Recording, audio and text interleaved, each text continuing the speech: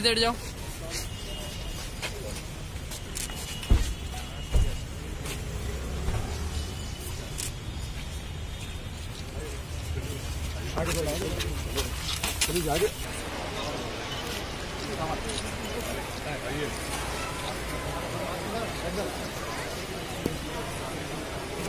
इसमें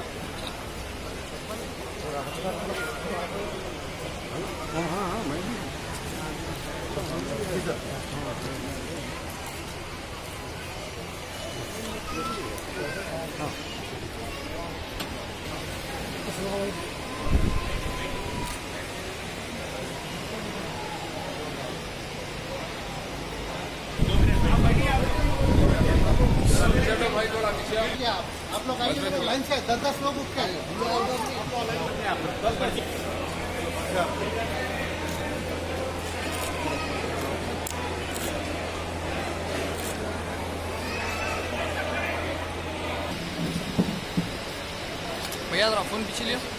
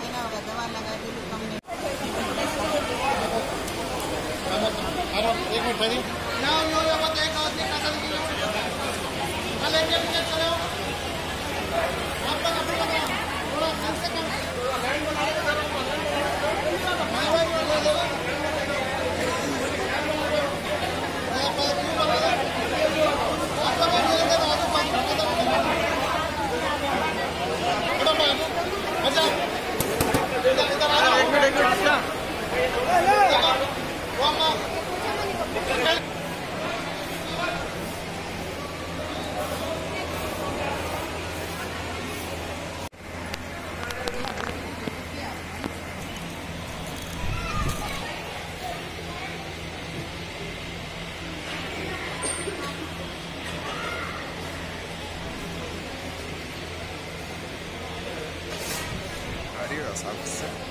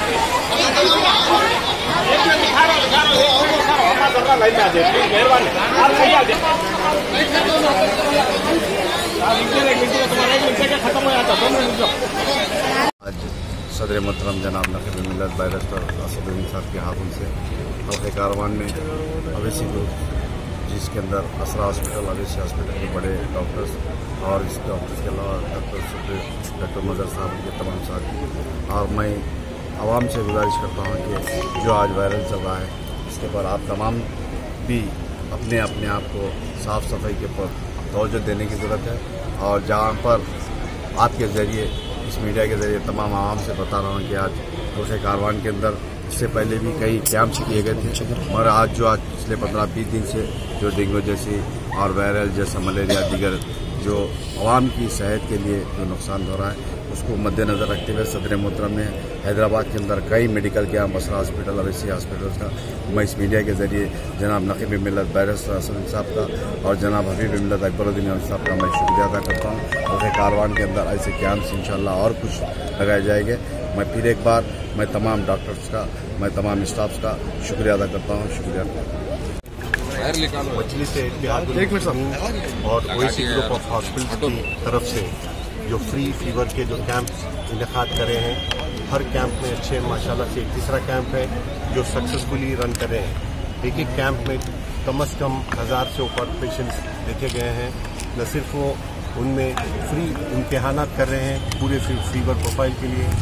जिसमें डेंगू के लिए मलेरिया, टाइफॉइड और दूसरे वायरल जो फीवर है, उसको डायग्नोस कर रहे हैं और उसके फ्री अद्वियात भी तकसीम कर रहे हैं। तो उस कार्य काफ़ी हद तक पेशेंट्स को कवर कर चुके हैं और और दूसरे भी हद तक इम्कान ये प्लान है कि और भी तो ऐसे ऐसे फ्री कैंप्स करें। क्योंकि अवेयरनेस प्रोग्राम करना ज़रूरी है कि डेंगू फीवर जो है, इसका कोई इलाज नहीं है, इसको सपोर्टिव केयर और सिंपल पैरासीटामॉल से ही इलाज हो सकता है। और उसके दूसरे जो प्रिवेंटिव मेजर्स है जैसे वैक्सीन्स हैं वो उतने कारगर नहीं साबित हुए और न सिर्फ़ ये घरेलू हालात जिसमें हम लोग एजुकेशन कर रहे हैं जिसमें खासतौर पर सोशल और प्रिवेंटिव मेडिसिन डिपार्टमेंट है जो घरेलू अपने जो हालात है जहाँ पर पानी ठहरता है जैसे एयर कूलर्स है या रबर के टायर्स है या दूसरे छोटे से यूटेंसिल्स है जिसमें पानी ठहरता है जिसमें डेंगू का जो मच्छर है ब्रीड करता है और 10 दिन में उसके हज़ारों लाखों में बच्चे पैदा होते हैं और इसी की वजह से ये बीमारी फैल रही है। अगर हम लोग हमारे अतराफ और अकनाफ के हालात सही करें और पानी का, खासतौर पर गंदगी का अच्छा ख्याल रखें तो इस बीमारी से बच सकते हैं। और न सिर्फ़ ये, बल्कि सिंपल जो इंसेक्ट रिपेलेंट स्प्रेज रहते हैं, उनका इस्तेमाल कीजिए। और रात के टाइम पे मच्छरदान जो पुरानी चीज़ है, वो भी काफ़ी इस चीज़ के लिए बैरियर स्पेसिंग के लिए कारगर चीज़ है। और न सिर्फ़ ये कैंप्स हम लोग यहाँ रन करें और इन और दूसरी जगहों पर भी रन करेंगे ताकि लोगों में ये डेंगू फीवर या दूसरे फीवर्स की उन लो, लोगों में आमतौर पर ये मालूम हासिल करें कि कैसा फीवर से बचना चाहिए और किस हद तक उससे हम लोग सक्सेसफुली ट्रीट करें।